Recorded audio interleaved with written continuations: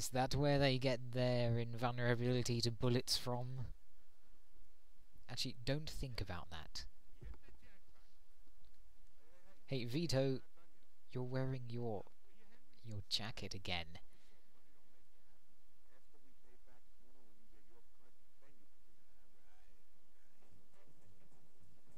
Did that just uh, float up from the ground there?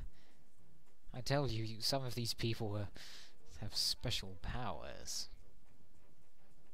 Vito, wear your suit.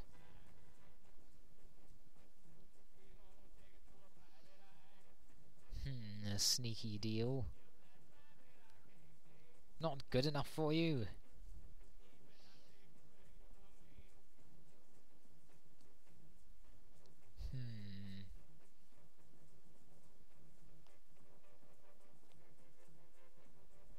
Ah, the cops.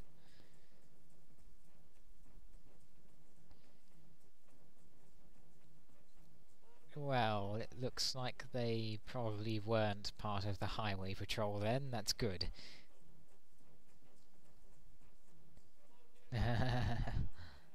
ah, ooh. Don't fall asleep on the job, people. Ah, that's better, at least he's wearing a better suit now. Hey, Joey's got one too!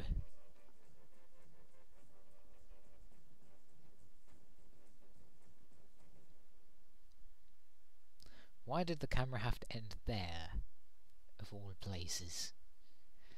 Best not to think about that. Anybody, uh, anyway, everybody, next time, chapter 13, Exit the Dragon.